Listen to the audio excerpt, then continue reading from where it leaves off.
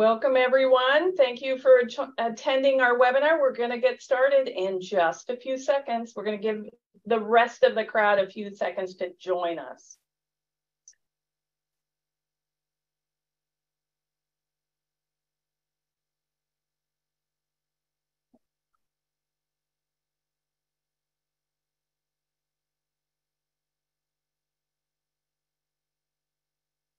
We're going to go ahead and dive right in. I want to welcome you all and thank you for joining us today. Um, this is the final of our life, life lessons webinars. My name is Barbara Thomas and I'm with the Tippie College of Business.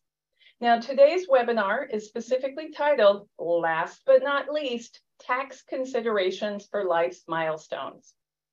This webinar is the last of the series, as I mentioned, and we're really proud of this series because it is designed to provide you with legal and financial insights and ideas for each stage of your life. But as it is with all of them, I want to reiterate to you that these webinars are to provide those ideas, but that we are not providing you with official, legal, or financial advice. After attending any of our webinars, we encourage you to discuss your issues with your own financial planner or your lawyer.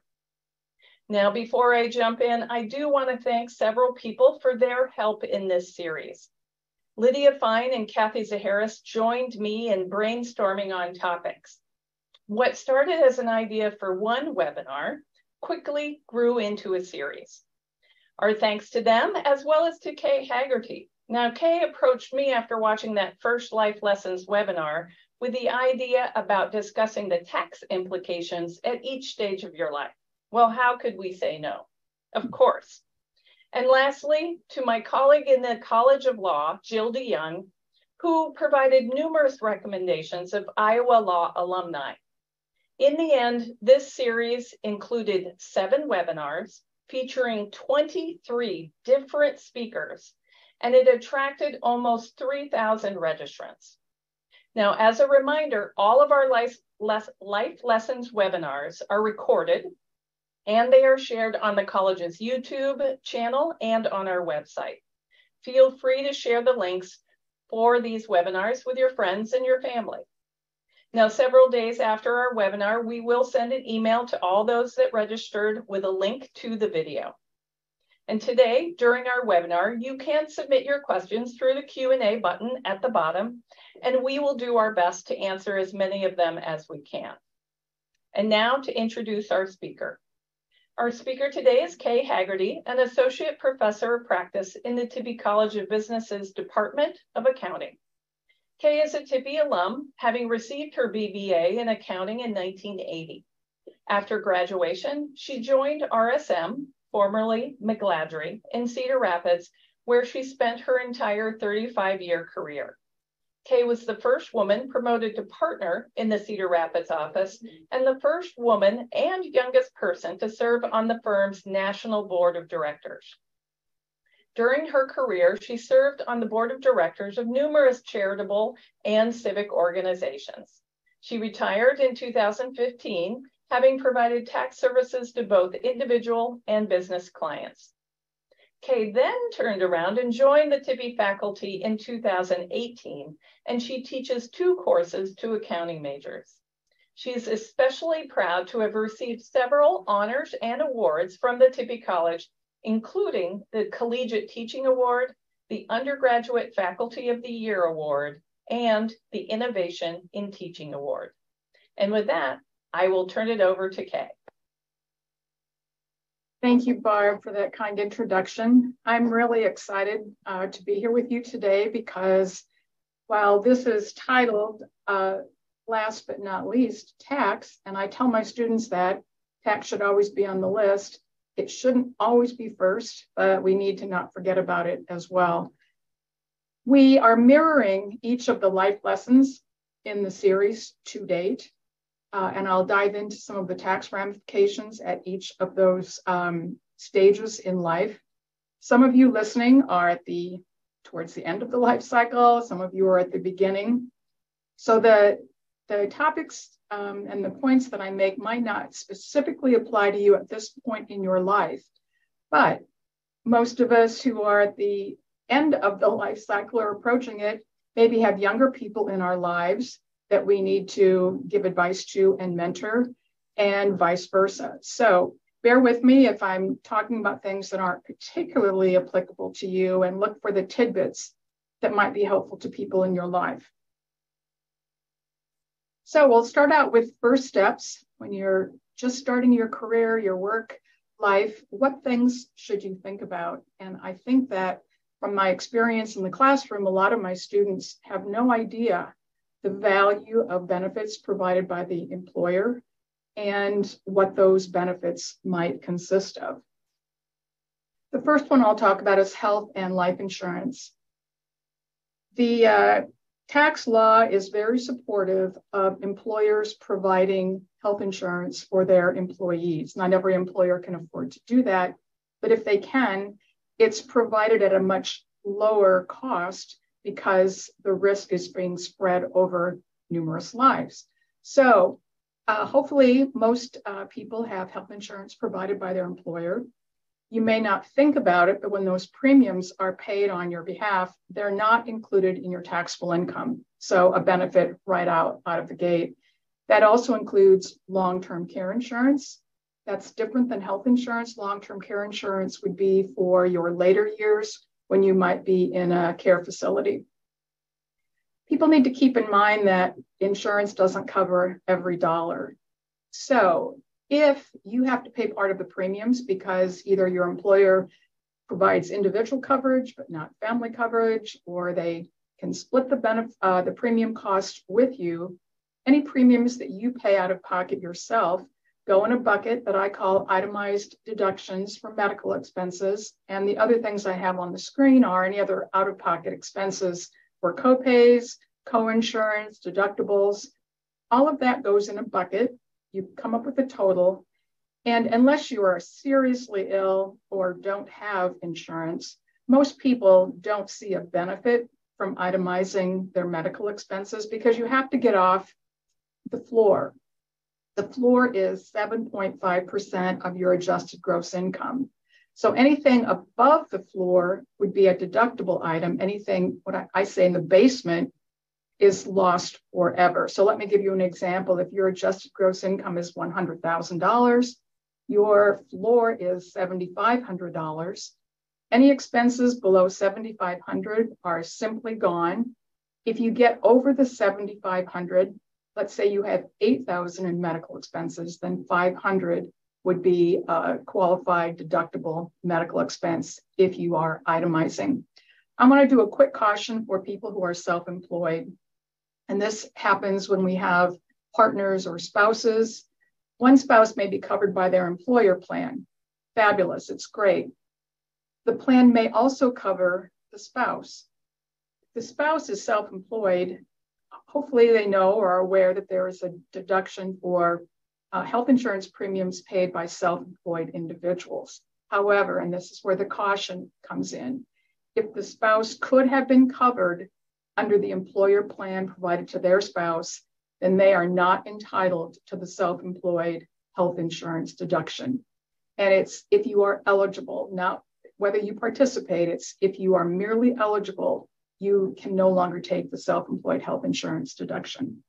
Another benefit on the insurance front is for group term life insurance. This is insurance that pro- is provided across the board to all employees on a non-discriminatory basis.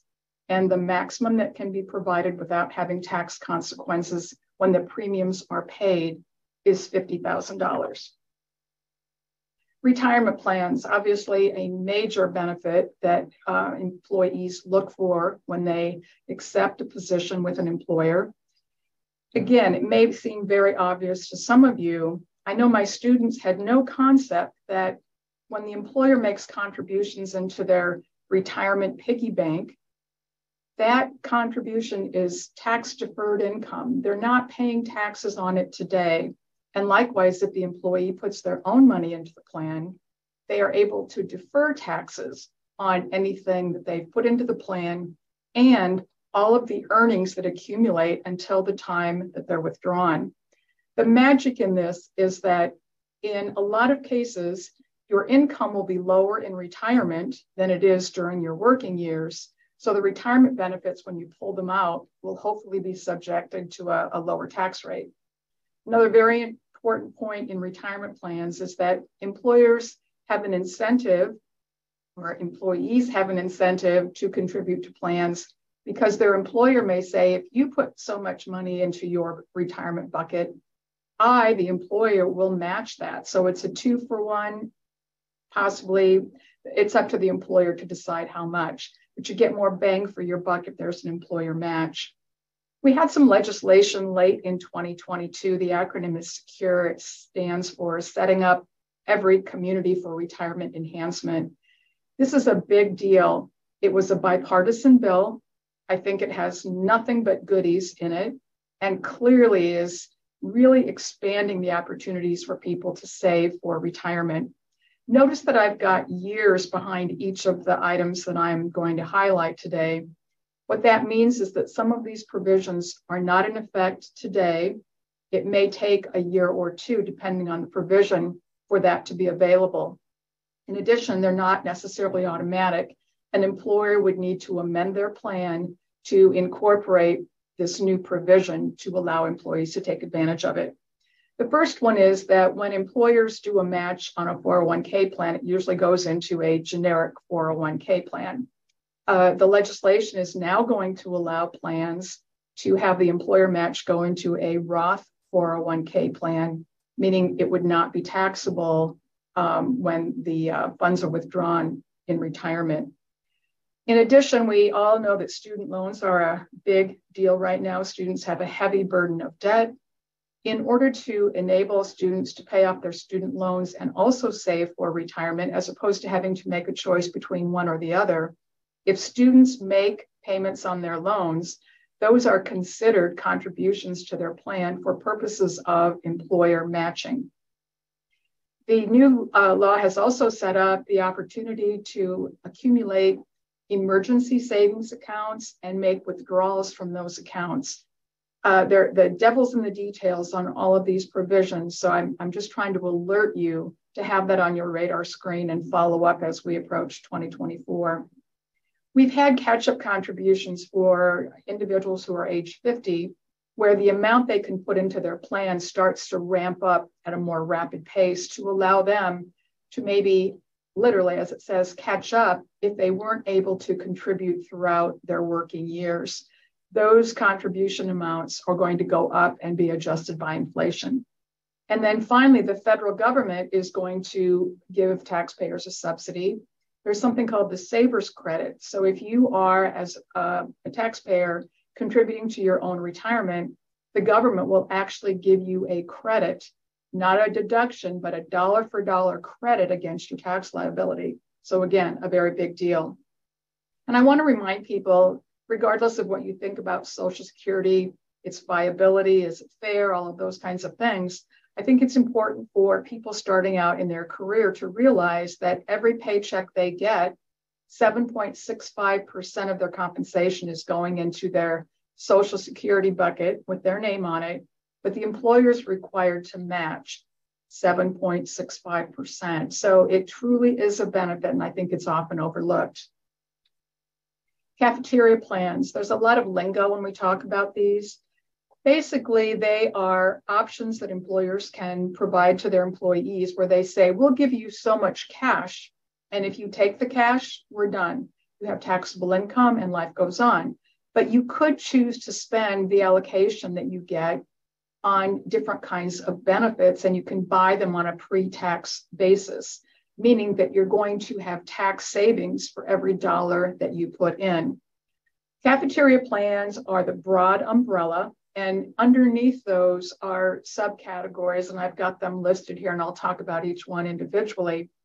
The flexible spending account, again, is often used interchangeably in terms of the verbiage. This is the account where you choose how much money you want to put into it for the things that I have listed there health insurance, out of pocket medical, daycare, adoption. You need to be very careful when you make your decision of how much you're going to set aside because if you don't use it by the end of the calendar year, it's gone, which is why we say use it or lose it. So don't put more in than you think you're going to take advantage of and make sure you keep track of it as the year end approaches and maybe do elective surgery, um, go in and have your teeth cleaned, have your um, annual physical, whatever it is that you can do to spend that money. A health savings account can be provided within a cafeteria plan, but individuals can also do their own health savings accounts. This is if you've chosen or are covered by medical insurance that has very high deductibles so that you're paying more until you're in the money with the insurance coverage. You're allowed to set aside money on a pre tax basis so that when you're paying out of pocket until you hit the deductible amount, you can tap into that account that you've been accumulating to cover some of your costs. Disability insurance can also be provided within the cafeteria plan setting. Very, very, very important thing to keep in mind, and I'm not sure how many people uh, realize this. If the employer pays the premiums for disability, you may say, Great, I don't have to pay for that myself. However, if you're unfortunate enough to become disabled and you get $50,000 to replace your lost earnings when you become disabled, because the employer paid the premium, the $50,000 incoming will be taxable income. On the other hand, if you pay the premiums yourself or pay them with after tax dollars within the employer plan, then when that 50,000 comes in the door when you're disabled, it is completely tax free. In my mind, it's a no brainer. The cost of disability insurance, uh, it's a good thing to, to pay that year after year to protect taxability of the, of the benefits if you are unfortunate enough to have to get them, but fortunate enough to have a plan to replace your earnings. And then group term life insurance, I talked about previously, it can also be included within a cafeteria plan. Assistance plans. These are employer paid benefits that simply come to employees tax free. And the two biggies are employers can give each employee $5,000 to defray their um, daycare costs. In addition, they can provide educational assistance programs. And right now, the amount they can provide tax free is $5,250. This also includes student loan payments. So the $5,250 could be used to pay student debt principal, interest, whatever, whatever um, is happening in the repayment plan. This can be for an employee to go back to school for undergraduate programs or graduate programs. One of the caveats, though, is that it, it need, um, while it doesn't need to be job related, if the course you're taking involves sports, hobbies, games, the things that could have an element of fun or recreation in them, those are not qualified educational expenses unless you're in one of those industries and you have to go to school to learn more about those particular items within your industry. Okay, so you've got your feet under you, you've got your job, you're on your way. Perhaps the next thing coming along is that you will find a partner to spend the rest of your life with. Now we're talking about whether you are going to file a joint return or file separately. And I'd like to walk you through why filing status is the first thing you have to think about, and it drives everything else. So I will show you in a minute a tax rate schedule, not to bore you with a bunch of numbers, but I want to at least give you a, a glimpse of how to look at the tax rate schedules. Depending on your filing status, you may not pay the highest level of tax at the fastest rate, depending on your filing status.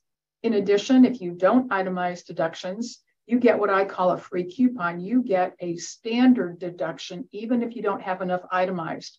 That amount is also driven by your filing status. Tax credits, these are dollar for dollar offsets against your liability. And again, they're based on your filing status, along with a lot of other criteria like your level of adjusted gross income, so forth. So, what's my filing status? First question is, what is my marital status? And then you also need to know if you have dependents. And I'm not going to go into the details on dependents, that could take a whole hour. The thing I want most people to take away uh, today as a learning, if you didn't know it before, is that when we uh, had the uh, tax bill in 2017, uh, the Tax Cuts and Jobs Act, I'll refer to it uh, some more and later in the slides, there were some give ups in addition to the things the law gave us as benefits. And one of them is for the years 2018 through 2025, if you have a dependent, they meet the definition, you are no longer getting a deduction for the dependent or for yourself, a deduction called a personal exemption amount. That's on, on hold unless Congress changes it. It's gone until 2025. It may come back in 2026, again, depending on what Congress does. Let me give you an example of the impact of losing the dependency deduction and the personal exemption. No, I'm going to skip a couple slides here so I can finish that off for you. If in my example you had two parents and one child, each of those human beings are worth approximately $4,000 apiece in deductions. Again, right now that is gone. So if you look at the table that I've got up in front of you here, this is the standard deduction amount. And if we look at married filing joint, the first line, you can see that before the tax law change in 2017, the standard deduction, the coupon amount was $13,000. Knowing that the personal and dependency exemptions were taken away, in my example, 12,000, you can see for that married couple, their standard deduction almost covered the loss in those um, deductions. It didn't necessarily help if you had two kids, three kids. I had a client who had six kids and they took it in the shorts. But that is how Congress tried to balance things out. Another thing about the standard deduction increasing is that itemized deductions are a place where a lot of taxpayers take, I'll call them liberties with deductions. You have to keep a lot of records to prove your deductions. The IRS has to come in and examine them. It's tedious on both sides. So Congress thought by raising the standard deduction, fewer people would itemize and there would be less record keeping on the taxpayer side and the IRS side. Now let me jump back and let's talk about filing status options. So if you're married on the last day of the year, you're married you can file joint or the option we have at the bottom, you can do married filing separately, meaning that each uh, partner spouse files their own tax return. There's a benefit if you lose your spouse during the year, you're considered married for the entire year, even if you're not considered married on December 31st. So you get the benefit of the married filing joint rates. In addition, if you lose your spouse, for the next two years, if you don't remarry and you have a dependent child, it's very specific, you can continue to use the same rates as if you were still married filing jointly. And that's again for two years after the year of death. Head of household is for people who are unmarried on the last day of the year, but they might not be responsible for just themselves. They might maintain the household for a qualified person. I'm underlining these definitions because they are different and you need to make sure you meet um, the specific definition. But if you're a single person, whether you've never been married or you are now divorced and you have household responsibilities for a child, then you don't get rates that are as favorable as married filing joint, but you also don't get rates that are as um, unfavorable as if you were single single, you're married, uh, excuse me, you're not married on the last day of the year. And again, think about can I sneak up into that head of household uh, status? Married filing separately, I'll talk some more about why you would or would not be interested in doing that. So here are the tax rate schedules, and I just want to show you very briefly here that if you look at the single column, the 22% rate bracket starts at 89,000, or excuse me, ends at 89,000 $75.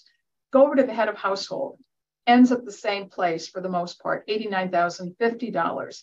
But if you back up, you can see that the 22% rate for a single person starts at almost 42,000, whereas a head of household can have income all the way up to 56,000 um, before they hit that 22% tax bracket. So there's some savings in those lower rate brackets, again, for people who are not married but have a child in their household.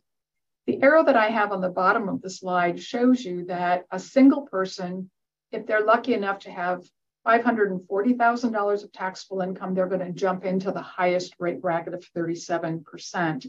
On the other hand, married filing joint taxpayers, could wait until 600 and almost 50,000 of taxable income before they hit that highest bracket. These are the rates for capital gains and qualified dividends, the preferential rates. And again, I just want to draw your attention to the distinction between whether you're a single taxpayer or head of household, and you can study those numbers some more on your own. We talked about the standard deduction. So let's talk about the non-tax considerations. Again, tax is very important, but there are a lot of non-tax reasons to choose your filing status. Overall, married filing separately doesn't provide tax advantages. If you look back at those tables, the uh, married filing separate numbers are exactly one half of the married filing joint. However, remember that I talked about the 7.5% AGI floor that you have to get over before you can deduct medical expenses. If you had the situation where one spouse had been critically ill, had significant medical costs during the year that were uninsured, it might be to the benefit of the married couple to marry, do married filing separately so that in theory, the AGI limit for the spouse who is ill would be a lower number and you'd get into the money, you'd get above the floor sooner. Married filing separate has a lot more uh, beneficial reasons from a non tax perspective. We talked uh, in the other life lessons webinars about you could maybe love the person that you are sharing your life with, but you don't love their financial choices or situation. Know that when you do a married filing joint return, you, each individual, are responsible for any liabilities in connection with that return. So if you have a spouse who I call a spendthrift, they spend money like water. You have a spouse that has significant debt that you are not um, a co signer on, or they have had a history of bankruptcy. You might want to say, Thank you very much. I'm going to file my own return. There are also some provisions. I had a, a, really good friend who loved her spouse, but he had so many business issues going on that she chose to do married filing separate just so she didn't get tangled up in all of that. If she had filed a joint return, she may not have been aware of all the things going on in that return. That's no excuse. Innocent spouse does not mean ignorant spouse. But if she had reasonable basis for not knowing about certain things that were in the return, there are some rules that will provide some leniency to the innocent spouse so they're not stuck holding the bag. Other reasons to do married filing separately are if you are bringing uh, individual wealth to the marriage, if it's a second marriage and you have children by your first marriage, you may want to keep things separate want to make it clear, though, that if you have a prenuptial for non tax reasons, or even some tax reasons, you are not required to do married filing separately. That is not a requirement to if you have a prenuptial. So don't think that one um, is mutually exclusive to the other. And then I just want to alert you that while I'm talking mostly about federal rules, every state has their own rules regarding common law marriage, um, same sex marriage. So you need to pay attention to those rules as well. Divorce, the unhappy ending to a romantic situation. You need to know what could happen at that point. I always say three things happen when married people get divorced. They divide up the stuff, property settlement, who gets what. Even though these two individuals may not like each other anymore, the act of transferring assets from one spouse to another in a property settlement is considered a gift for tax purposes. Gifts are not income to the recipient, they're not a deduction to the person who's making the gift. That's the first issue. The second issue is child support. If you have uh, children in the marriage, you need to decide who's going to pay who what. But remember, child support is not taxable to the recipient, not deductible to the payer. And then finally, alimony. There was a significant change in the law, again, with that 2017 tax bill. If you were divorced, your decree was signed before January 1st of 2019, life will go on as it's always been. If you receive alimony, it's taxable. If you pay alimony, it's deductible. However, if you signed a divorce decree after January 1st of 2019, it will never be taxable if received, never deductible if paid. So you might say, well, if everything evened out before the law change, income equal deduction, maybe not necessarily because you don't know who was getting a deduction at maybe a higher bracket than the person who was picking up the income at a lower bracket. There were also some problems with one person taking the deduction and the other person forgetting forgetting uh, to pick up the income. So they've just clarified all of that. Finally, if you do have dependents, they're usually claimed by the custodial parent, but there is, and I've got the form referenced for you there, Form 8332, which says, gee, the kid or kids are living with one parent, but having the dependent would be more advantageous to the other parent. And if you're still playing nicely enough to want to save taxes for everybody in the now separate family, formerly a combined family, it may be to your advantage to be open to sharing the dependent deduction when we have it, or certainly the, um, the uh, dependent for purposes of establishing filing status. Okay, so you've got your first job, you're maybe in a, a committed relationship, or even if you're not, you are transitioning to I want to own my own house, I want to start a family. What's involved there? Home ownership. The tax law has a lot of benefits for home ownership. The first one is that if you have a mortgage, you can deduct the interest expense as an itemized deduction. There are some rules though. A lot of people don't know you can deduct the interest on your primary home and a second home, not a home where you're generating income like a rental property, but your vacation home or your home in Italy, uh, if you're lucky enough to have that. The debt has to be secured by the residence, and there are all kinds of, of terms acquisition debt, home equity loan, home equity line of credit, second mortgage. Under current law, again, we're in kind of a window here.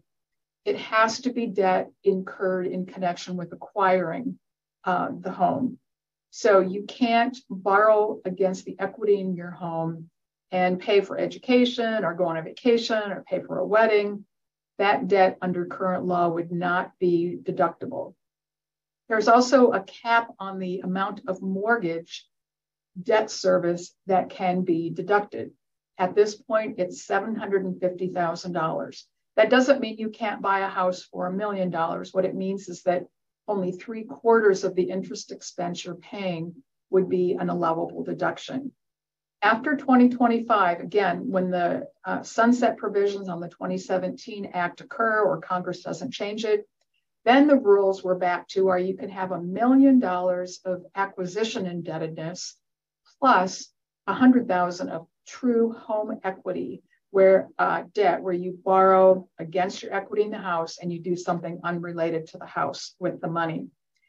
In addition, for home ownership, if you have property taxes um, where you live, your property taxes are um, an eligible deduction. And I use that word eligible because you have to look at all the taxes in your life property taxes, income taxes, car licenses, if they qualify, all of that.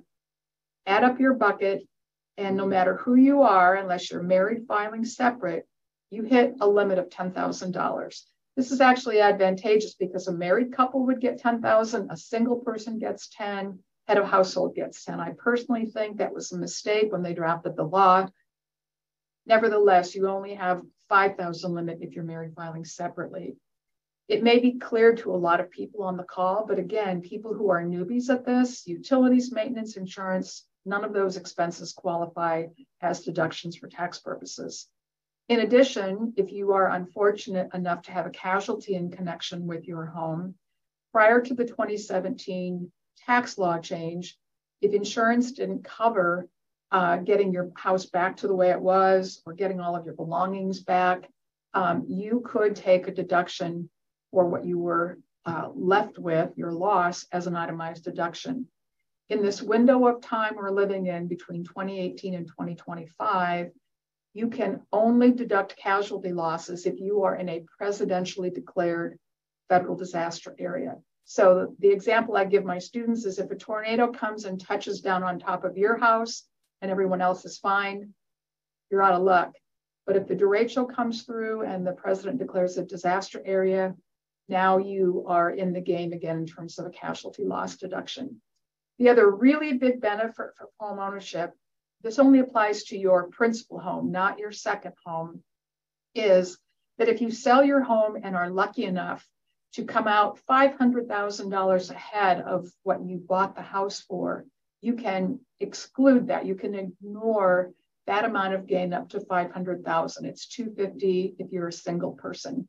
And the other Benny is that a house is a capital asset, your principal residence. So if you do have gain above 500,000, most likely you'll get capital gains preferential rates for that amount. Raising your family. Again, I've talked about the fact that you don't get a deduction for your children or yourself. Know though that there are some other benefits in the law that help you with raising your family. Uh, there's a benefit in an employer assistance program of up to 15,950 of ex- uh, expenses being covered that would not be taxable income. Or if your employer doesn't provide that for you, you can accumulate those expenses and there's a credit that could be available. There's a credit if you have children under age 17, 2000 for each qualifying child and again, in this window of time, if you have other dependents who are not your children, you can add another $500. In 2023, and then this benefit goes away, you can also get an additional child tax credit of $1,600, and you can actually get a refund for that amount. And then finally, if you have to have daycare expenses to be gainfully employed, then if you have children under 13, you can consider up to $1,050 of expenses and get a daycare child um, credit. Again, you have to have the daycare expense so that it allows you to be gainfully employed. Education, big ticket item. I mentioned earlier that perhaps your employer will provide free educational assistance. Know that that only applies to the employee. It cannot be used for family members of the employee. A lot of students are lucky enough to get scholarships. When you look at whether someone is your dependent, you have to determine how much support they're providing or you are providing. You can ignore scholarships in your calculation of the amount of support. In addition, if your student uh, is lucky enough to get a full ride, know that that only excludes from income tuition, books, fees, expenses, and so forth room and board, you got to eat anyway. If that's covered, it's going to be taxable income. There are different kinds of savings plans. They all have different requirements. So I've just got them up there for you in name only. Education savings accounts, sometimes they're called education IRAs, sometimes they're called Coverdell accounts. That was the member of Congress who introduced the bill to provide for these. 529 plans those are state plans, and I'm going to talk about those in more detail in another slide. A lot of people don't know that if you invest in US savings bonds, that might not be the best investment choice, but if you do, if you cash them in and spend the money on qualified education, they're tax free. Student loans, if you are borrowing to pay for college, um, there is an interest expense deduction of up to $2,500. Um, a lot of rules in terms of how much income you have and so forth. So you have to watch those tests, but don't forget it's there. In addition, there's a lot of talk right now, um, primarily President Biden wanting to forgive student debt. We already have some provisions on the books regarding debt forgiveness. So again, think about those when you are looking at your student situations. You have limits on how much you can give to a child in a year. I'll talk about that later. Know that the limit that you have each year does not have to consider any payments you make for education where the check goes directly to the educational institution as opposed to being paid to the child and then submitted to the institution. And then finally, there are two different credits. American Opportunity is for the first four years of secondary education, and lifetime learning is if you are incurring educational expenses beyond the first four years of college. I've got a chart up here with the differences between Section 529 plans and simply making gifts to a minor child. I'll use that as the example. It used to be the uniform gifts to minors. Now it's called the uniform gifts, excuse me, uniform transfers to minors. Either way, I've got these on a side by side on this chart. 529s get tax preferential treatment. Um, you can, depending on the state you're in, maybe get a tax deduction or a credit, and the earnings are tax free as they grow. The withdrawals are tax free if they're spent for qualified education expenses. If you have more than one child and you put money into a 529 plan, the first child doesn't use all the money, you can pass it down all the way through to until all of your children have gotten through school.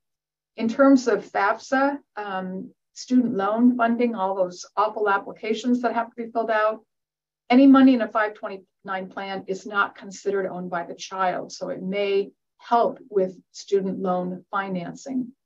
Keep in mind that the states individually manage what you can choose to invest in, and they also tend to have these racked up so that they're age based.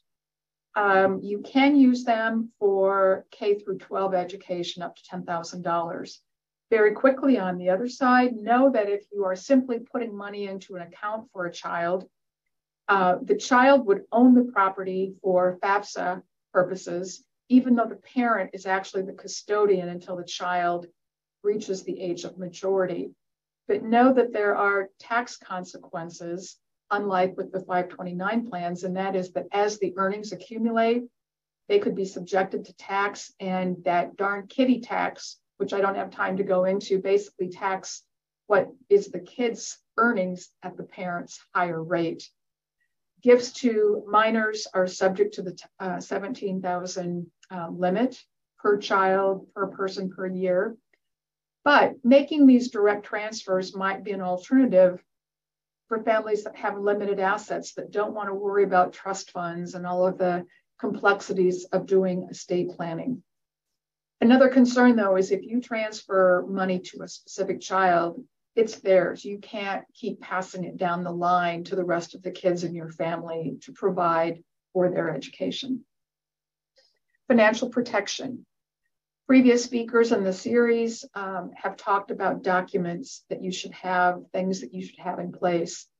I am not an attorney. I cannot do um, preparation of documents, but know that there are trust situations. If you have, again, what I call spendthrift children who would waste money if you gave it to them outright, or if you have special needs children people who are going to be dependent for the rest of their lives, what can you do to protect them once you are gone? Financial protection includes disability that we've previously talked about. If you become disabled and can no longer work, insurance will kick in to help you pay the groceries. Life insurance, if you should die, it provides some protection to your children. Again, keep in mind that life insurance proceeds are not taxable when they're received, on the flip side, though, the life insurance premiums don't qualify as a deduction for medical expenses. And then don't forget the employer $50,000 group term option. Long term care, I've talked about. Remember that here it's different. You can potentially get a deduction for medical expense treatment, but there's a, a limit based on your age. Documents, documents, documents. I've already kind of uh, alluded to that. I'm not an attorney, but I think everyone should consider having a financial power of attorney, certainly a will and trust documents if they apply. Know that the way these documents are written can have income tax consequences for those who are still alive and estate and gift tax consequences for the person who has passed away. I strongly consider um, a survivor's notebook. If you Google survivor's notebook, you'll get all kinds of examples. This is where you should have all these documents. So when the tragedy happens that you lose a loved one, you remember, go grab the notebook off the shelf and all the things you need to know in that first few moments, days, months, maybe even year of grief. That's where you go to find all, all of the documents. You don't have to be searching all over the place. Titling is very important. If you have an account that has uh, individual's name on it, that um, will probably follow whatever the will provisions are. If the will says my assets go here, here, and here, those accounts will be covered. But if you have an account that has uh, joint tenants with rights of survivorship, it's commonly used by mar- uh, married couples or people that have simple estates. Because what happens is when one account owner dies, it just automatically transfers to the own, other owner without having to do anything. But because it is an automatic transfer, if your will said, I want all of my accounts to be allocated to whoever I mention in my will, the accounts that have rights of survivorship will transfer and the will provisions will be ignored. Um, a lot of times we consider adding a child to an account for aging parents to help them write bills. Be really careful with how you title this. I'm a CPA. I do this, did this for a living. When my mom said, I want to put you on my account so you can pay some of my bills, we went to the bank, we did that. I did not realize that she had just made essentially a gift to me of half of the account. And that when she died, that was my money. And my sister, my only sibling, would have no right to share in it. I did what I needed to do to make it all work out. But you need to be really aware of that. And I'll talk about some more details on the next slide. Finally, if you have an asset that passes with rights of survivorship, you will lose the right to step up the basis in the asset that we're talking about, meaning any appreciation that has occurred during the, the deceased person's lifetime will be taxed at some point, as opposed to being um, ignored under the estate tax rules. Convenience accounts. This is the term that you want to have in your mind if you have a situation like I did where your mom wants to have you help write checks. Every state, excuse me, about half of the states have adopted what's called the Uniform Multiple Person Accounts Act. And it is where, in essence, you have a financial power of attorney over an account. Your parent hasn't transferred the money to you, you have no rights of survivorship. Uh, you simply have the ability to write checks to help your parent so they don't have to worry about some of the details. Beneficiary designations. We've talked about life insurance, retirement plans, annuities are another retirement vehicle.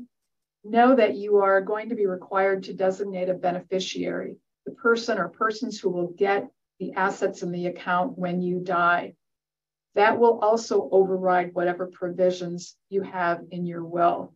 On the other hand, if you have what I call after tax assets, investments or property outside of these tax deferred accounts, those will follow the provisions of the will, again, if they're properly titled.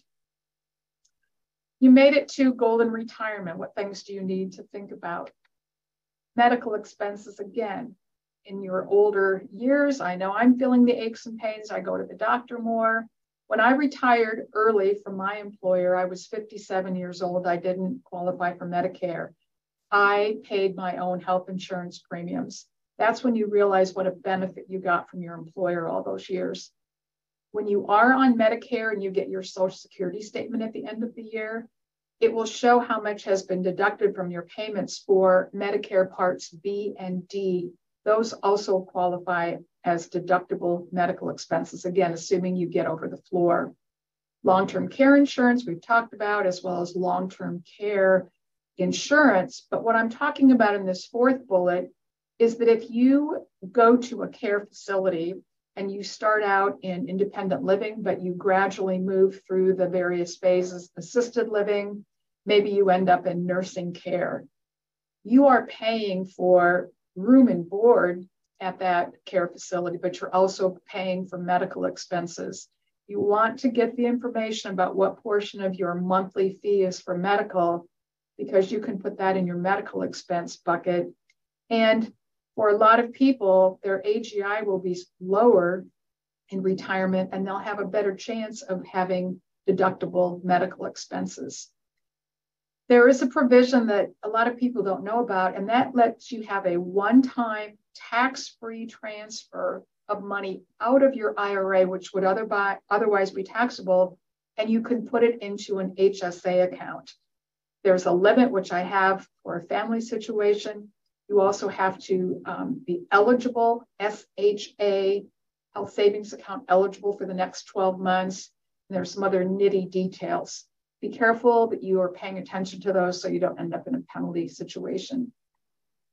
Social Security, people are often confused that there are three different things that happen when you're in retirement mode.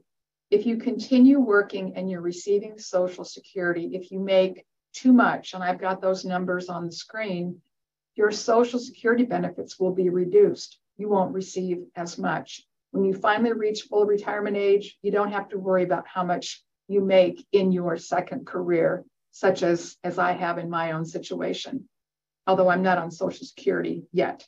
Um, if you are continuing to work, you still have to pay into the Social Security piggy bank in your name, and your employer will match. And then finally, when you're receiving Social Security benefits, if your income is high enough and it's based on your adjusted gross income and there's a formula, then your Social Security benefits won't be tax free. Up to 85% of the benefits could end up being taxable. So even though you paid in you get it back out, you may have the privilege opportunity to pay taxes. Understand it's not an 85% tax rate, it's up to 85% of the benefits go in your taxable income bucket. Retirement plan distributions. Most people know that at some point you have to start taking the money out. You can't tax defer it forever. This is an area where there are a lot of questions and they are so specific to the individual situation that I am afraid I can provide the general rules, but there are some new rules that I want you to be aware of. Again, provided by the law that was passed in late 22. Required age um, to take out minimum distributions is now 73, used to be 70 and a half. And by 2023, it'll be 2033, it'll be up to age 75 if your employer chooses to, uh, there will be the ability to have Roth IRA accounts in employer retirement plans, and they wouldn't have minimum distribution requirements. In 2022, we already have the ability to take out distributions tax free in situations where the taxpayer is terminally ill.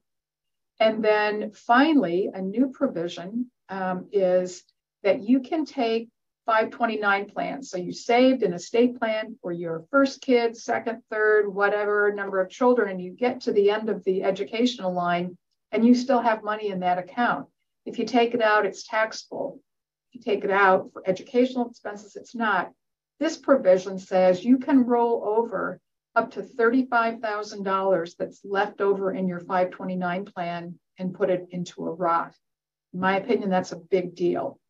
And then don't forget, if you are charitably inclined, once you hit age 70 and a half, you can take money in retirement plans that, if it was distributed to you, would be taxable and have it bypass you. It will go directly to the charity. So you avoid all the limits and problems that could occur by having it jump into your taxable income and then have to qualify for deductions on your itemized deductions state residency, a lot of people say, I'm getting the hell out of the taxable state that I'm living in.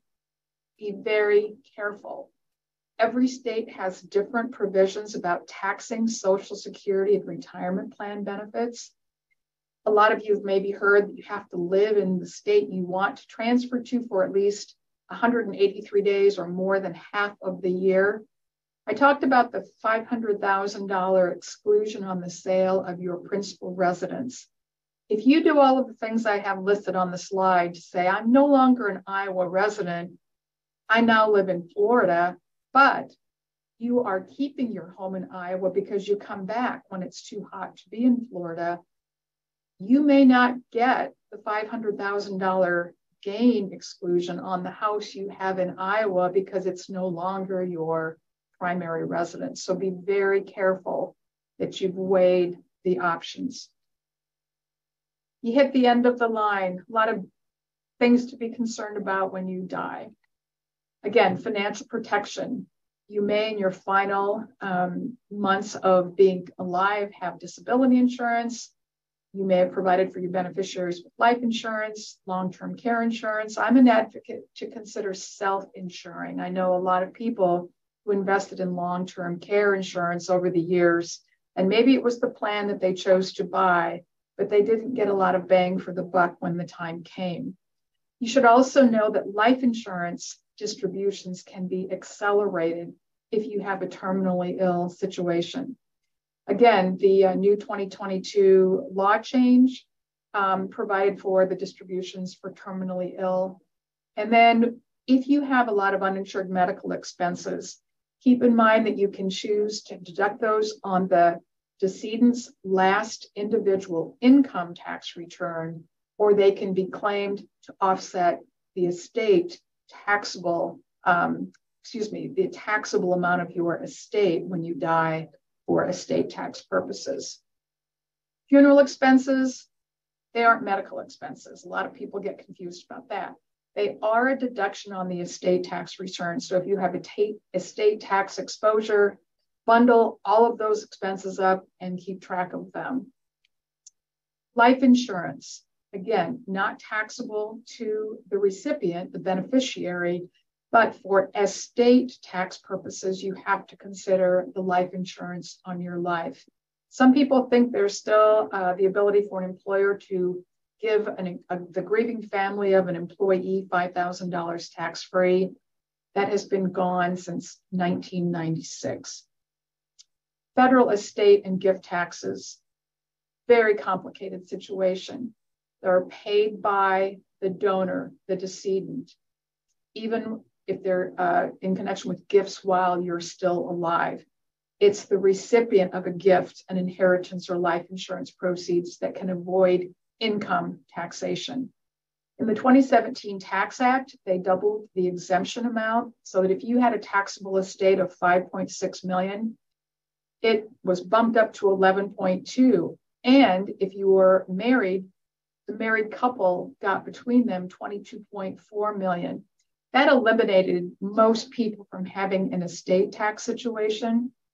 But we're subject to this window again where if Congress doesn't change the law, we're going to go back to where we were pre 2018 and the estate tax exemption per person will be adjusted for inflation closer to 6 million than what it is right now which is almost 13 million. So i've jabbered a lot. Barb do we have time for some questions before we say goodbye to our listeners? We do. So i'll just throw a couple to you that i think are quick answers okay? Okay. Um, property tax. If i pay um, if the property tax, uh, if in 22 is paid in 2023, is it deductible in 22 or in 23? It's deductible by an individual when it's paid. We, as individual human beings, are on the cash basis. So even though you have the liability at the end of 22, you got to write the darn check before you can deduct it. And the last one, again, um, can you use 529 funds for summer camps for your children? Hmm. I I don't know the answer to that. And I hate it when I have to say that, except that that's a good question. And, and I could certainly find an answer for whoever was interested in knowing that. Well, again, Kay, our thanks to you. As you can all see, Kay's contact information is here. And then, Kay, I believe that you are willing to share your slides with us as a handout. Is that Abs- true? So- absolutely. That's why I've got them full of so much detail so it can be a quick reference to start everyone out. Excellent. So please watch for that email that you will get. It will have a link to this video, but in addition, it will have a link to the slides that will be on the Life Lessons webinar um, web page. So um, again, I want to thank Kay for her help with this webinar. I know it took a lot of time. We're really grateful for everything you put into it. Um, in addition, we want to let you know that after this webinar, you will receive a short survey. We appreciate you taking the time to fill that out. Let us know how we did. Let us know what else you'd like to learn about. And on behalf of the Tippie College of Business, we want to thank you all for being with us and as always, go Hawks. Bye bye. Everyone.